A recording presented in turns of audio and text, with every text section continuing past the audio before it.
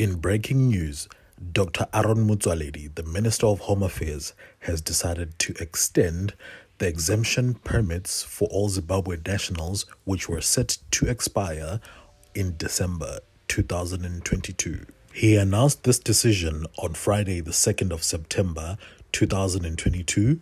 He announced this decision on the Department of Home Affairs website, together with a press statement, both which will be linked in the description to this video.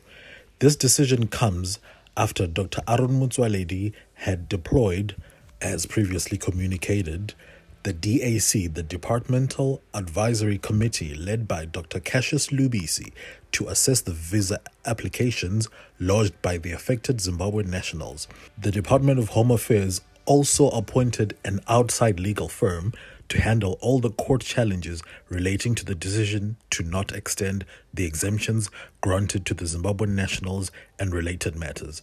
They also issued a progress report, which then subsequently led to the minister deciding to extend these visas for a further six months.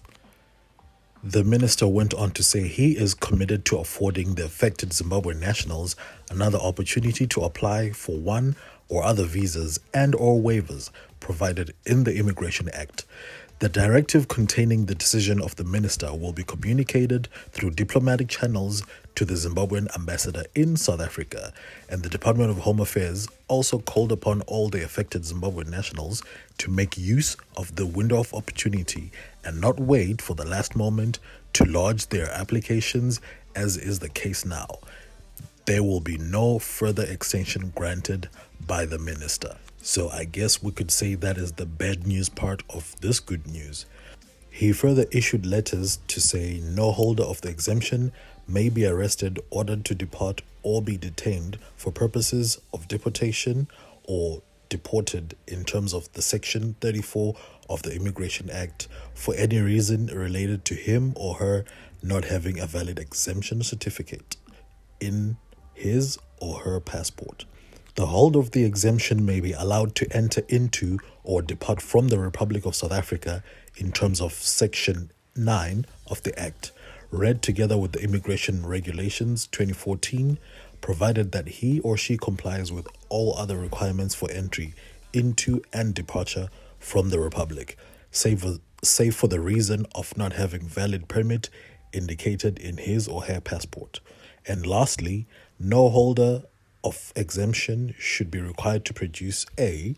A valid exemption certificate, B.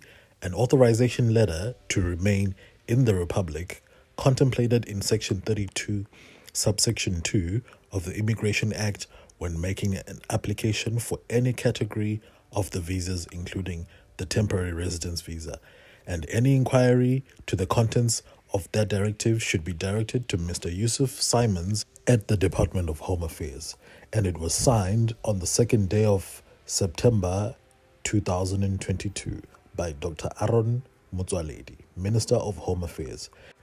All links in the description, and I will attach the letters at the end of this video. So please stay tuned and watch. Please like, share, and subscribe. Thank you.